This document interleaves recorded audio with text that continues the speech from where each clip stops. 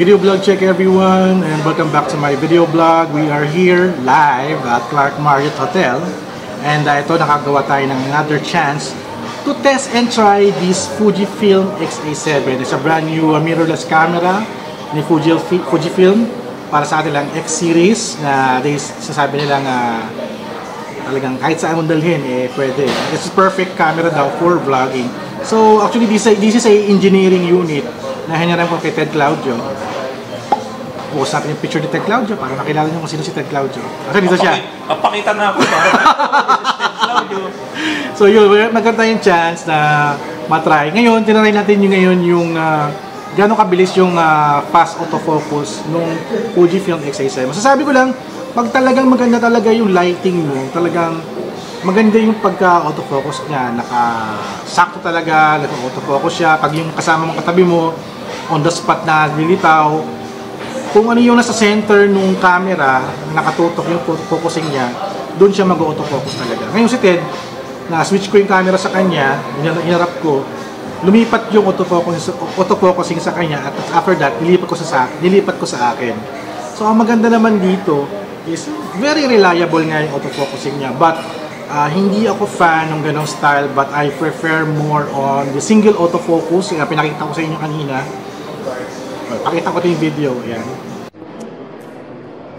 Okay, video vlog check guys. I'm using the brand new Fujifilm X-A7.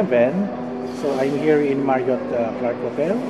So let's do a challenge using their super fast autofocus. So let's check it out. Oh. Nakikita ko talagang uh, autofocus siya. No?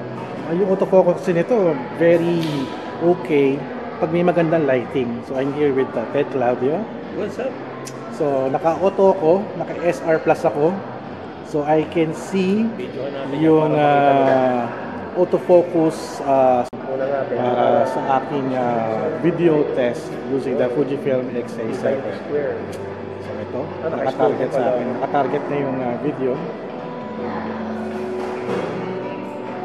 Actually, nasa indoor to, no? Iba pa yung condition pag nasa labas ka. So, yan. Gusto na mo natin.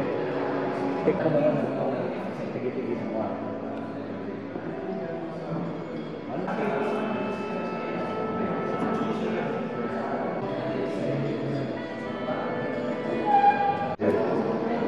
para may makikita yung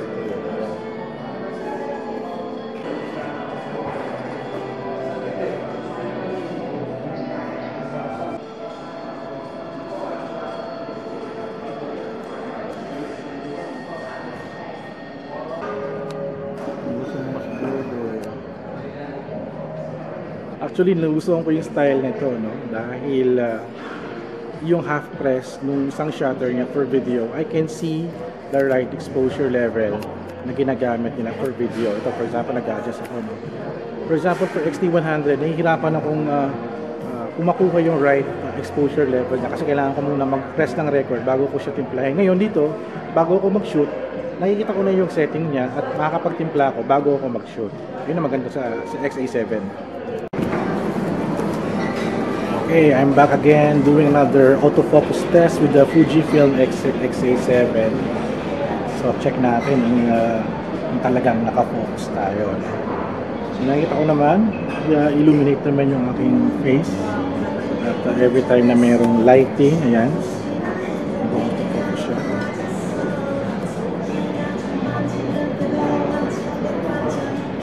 Kaya pag naka-side view, para nawawala yung aking uh, view.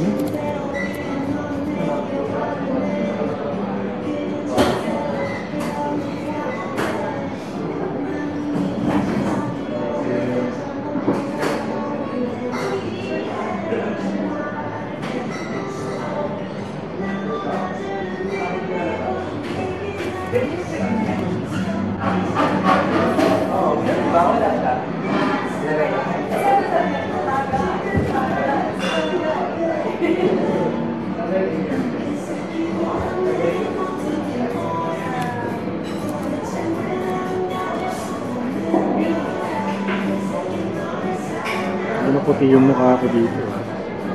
So, I'm trying to see if mag-autofocus siya. Hmm, kaya gano'n. Medyo babagal yung focusing niya. Bawa ito. Kapag makasalita ka, Imagine mo lang, may kausap ng tao. Okay. Parang dire-diretso ko na lang magsasalita na you're talking, wala mo lang inaano yung mga tao sa paligid. Isa nga parang sa salita ko, medyo ko na alam na tao may kumakaway sa likod. Eh. Oo. Napapansin ko na lang pag tapos na ako magsalita. Nakikita ko So na parang sa you're not aware of the surrounding. I mean, aware ka naman pero ayahan mo sila. Oo, kaya ako sila. Kasi gumagawa ko ng speech, kaya kailangan may may strategy ka na okay lang, dito ako. Oh, hey guys! Oras na inaapakan mo. Oh, nga, go. Oh my Hindi mo lang nakita? oh my God! Para ako naiihi ah. glass, so guys, so glass. Ganun yan, for the Fujifilm X-T100, ah, X- XA7, okay yung autofocusing niya pag ah, maganda yung lighting. It's talagang nakakapag nakikita niya kasi yung face ng tao. I think gan- ganun yung technology niya, no? Compared to the other, I'm using the XT100, medyo hirap siya. Pero ito, naka continuous focusing ako. So ito, very clear. At kahit si Ted Claudio, ayan dito, ayan. Nakafocus pa rin ako. Hindi lumilipat yung focusing sa kanya. Iba kasi camera, pag ginanto ko, lilipat sa kanya yung focus. Oh, yung kilala ko. Kilala, lumalabas. Pag uh, lilipat ko naman dito, kailangan nasa gitna kasi depende kung saan nakalagay yung autofocus sa Dalawa tayong ganyan. Ayan, kung dalawa, yes, nakafocus kami dalawa. Kasi ikaw yung mas malapit. Ikaw Okay. lumap- mas lumapit ako. Napupunta sa akin. Kung sino yung yata malapit. Hindi kasi nakafocus na ako eh. Ah, okay. Oh, So pag lumapit ka, yeah, medyo napunta sa'yo. napunta sa akin. Napunta sa'yo. Okay, So, pass it to us. Papasok ko na sa akin. Yo, kailangan mawala siya si, si Ted Claudio sa frame para makapag-focus. Well, okay naman. Hindi ko to na-experience sa XT100 but it's super okay, super fast. Medyo parang naka-filter lang yung mukha ko. Hindi ko siya masabing as sharp as it is but all I can see is yung square-square sa mukha ko. Let's try. Well, I'm not a fan of the autofocus ng Fujifilm. Pero siguro, with a little bit of practice, siguro mamamaster ko na yung style niya. no? I'm not sure kung talagang super focused ako. Kasi nakikita ko talaga yung mukha ko eh, na naka pasok sa frame. But teka lang, wait lang. Pero pag dito are very uh, clear, it's much more easier to to vlog.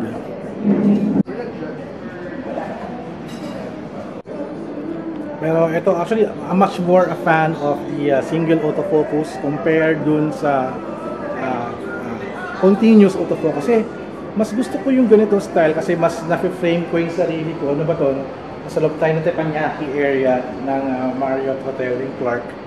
So mas ah mas nakikita ko na talagang nakafocus ako compared dun sa autofocus. Siguro med- medyo ah may meron akong sit down vlog or may ginagawa ako na hindi ako masyadong malikot. Siguro mas okay kasi malayo ako sa camera. So kahit naka-tripod, hindi ko na kailangan lumapit kasi nakaupo naman ako tsaka one location lang ako. Mas okay compare dito sa single autofocus na ako sa pag nagba-vlog ako eh lalakad ako, hawak ko yung camera, mas mas okay siya for me, di ba? Kahit may tao dito, medyo mabusy yung nasa likod ko, nakalock na yung focus sa sarili ko. So ginagawa ko, ah, bawa, medyo lilipat ako ng pwesto. Ginagawa ko, I'll just point it here sa dibdib ko. Ayan, ayan, okay na. Kasi pag sa mukha ko, minsan, ah, maraming tao sa paligid. So ginagawa ko, nalagay ko sa dibdib ko para ma-focus. And yeah, autofocus siya sa, sa akin, yung Fujifilm X-A7. Okay for me. Okay siya dahil I love the yung screen niya na front selfie niya sa gilid. Pwede ko siya kapitan ng microphone. At uh, para feeling ko gumagamit rin ng XT100. So, okay na rin din. Malaking screen, mas madaling mag-frame. Kahit maliwanag yung condition ng uh, location nyo for shoot, kita nyo pa rin yung sarili nyo i-frame. Walang problema. So mas gusto ko yung single autofocusing ng ah, style ko. That's that's my style kasi kasi talagang nasa frame ako, yung focusing nasa akin kahit maraming tao sa paligid or medyo busy yung nasa background ko. Hindi siya malilito yung camera na mag miss autofocus kasi minsan kasi ginagalaw ko yung camera eh. Ginaganon-ganon ko eh. Ah, but still, nakafocus pa rin sa akin. May, may, may konting bokeh, may konting style of ah, ah, nung camera. Umuulan ba? Well, umuulan sa labas. medyo dumilim bigla. Kung dumilim yung aking ah, camera, it's because medyo madilim na sa labas, umuulan. So medyo magulo ang aking review, pagpasensyahan nyo na, no? But, uh, For this is just a short uh, video vlog test using the Fujifilm X-A7 as you can see here. Play ko ulit yung video. So yun, I'm very interested to try this. Kaso engineering unit pa rin to. May konting flow pa. Flow, flow, flow, flow. May konting flow. Ah, I'm hope, I hope na matry din natin yung ah, ah, original na version nito. Talagang commercial release na kasi engineering unit na to for review lang so may konting problem pa ako nakikita dito. For example, naghang yung camera or, or may problema sa konting autofocusing. But I hope na sa commercial release maayos na nila to at talagang super full blast sila for introducing us a new mirrorless camera na Fujifilm na mayroong screen sa gilid. Ayan, on natin para makita nyo. Ayan, ang ganda, di ba? So, pwede na kayo mag-vlog ng pag ganito. Pa-selfie na. Ayan, pa-selfie. Selfie, selfie. Or if you're doing videography, kailangan mo ng mga low angle shot, switch mo lang to. Uy, isang ko yata nakikita nito style ng camera, di ba? Pwede rin mo na siyang balik na ba ganito. Ayan. Yung style din niya is parang ano din, para din siya smartphone. I tried the uh, the smart menu, kanyang smart setting no na na nakakapag uh, switch ako ng bokeh style on the spot while taking a photo. O baga live compared to other uh, style of uh, cameras na malalaman mo lang kung nakapag uh, switch ka na ng aperture mo eh, na- nakapag-take ka na siya. Ito live, very live. What you see is what you get.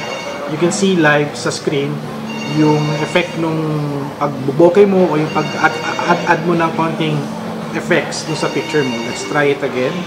Actually, hindi ko ba gano'n natitinker yung ano eh, yung ah, smart menu niya. So, parang ano siya eh, ito yung parang ah, for the ISO. Ayan no? Oh, kung ano yung naset mo. Ah. Nasiset yan eh. Tapos eto, etong dalawang button na to, nako-customize yan. Mhm. Kung ano yung gusto mo.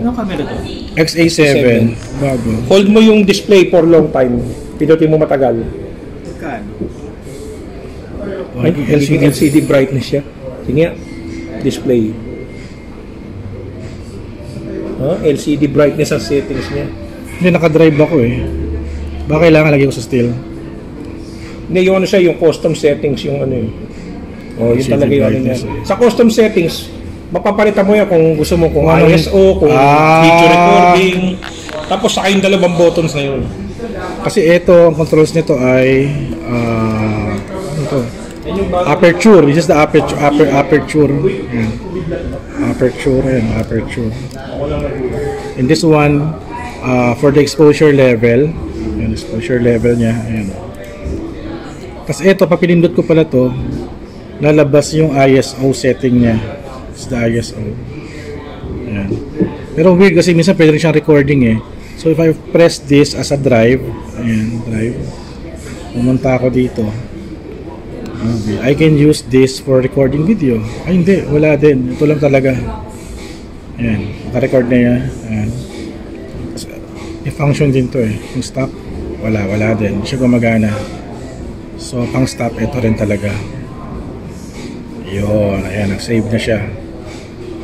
So, ito talaga for ISO. Well, sabi ni Ted, pwede daw i-program. I-program daw to. Weird nga lang, ba't lagay pa sila pang exposure compensation na which is, you can control it dito. Pero I guess baka nilagay nila to for people who want to try it, try the camera na talagang walang kahirap-hirap. It's very, ah, kumbaga, ah, it's for beginners din. Mas madali siya kasi kung sanay tayo sa smartphone, well, nilagay na ni Fujifilm yung mga mga settings dito na we can use it sa smartphone din natin.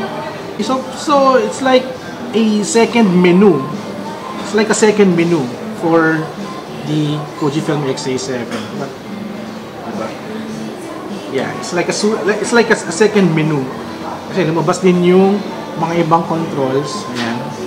Medyo weird, no? Nilagay, ba't nila nilagay ito? But siguro nga, baka targeted nila tong ah, settings na yon for ah, newbies or yung mga users na hindi man kayo intindi ng mga buttons na ito which is sa screen na lang sila magre-rely. So yun, thank you guys for watching. That's a short video for the Fujifilm X-A7. We will do more tests uh, with this camera. Medyo short na yung testing natin. Well, sana next time outdoor naman nakapag-test tayo. Know, take some video then uh, with the Fujifilm X-L7. So thank you Fuji Philippines for for the review unit. Actually kay Ted Claudio to hinaram ko lang para makapag-vlog ako about uh, Fujifilm X7. So yun, thank you guys and don't forget to subscribe, like and comment and I'll see you at the next video vlog adventure.